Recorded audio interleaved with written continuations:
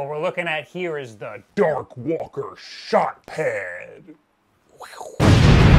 It's for sure the most ridiculous looking controller that I've ever seen, but it isn't really a controller, it's a keyboard and mouse. This is a giant trackpad like you'd see on a laptop. This does not work on consoles unless the console game supports keyboard and mouse, like I think Fortnite does on most consoles. This is to help bridge that gap. Sometimes I like playing on a controller, but I wish I had just that little extra more accuracy. Now you have a whole trackpad to get you there.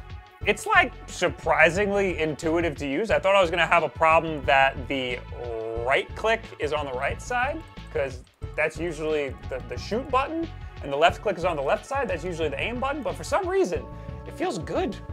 It does have two back buttons, kind of like an Elite controller has. One of them's space, which is usually jump, and one of them shift, which is usually run. Yeah, okay. They, they, they got this kind of figured out.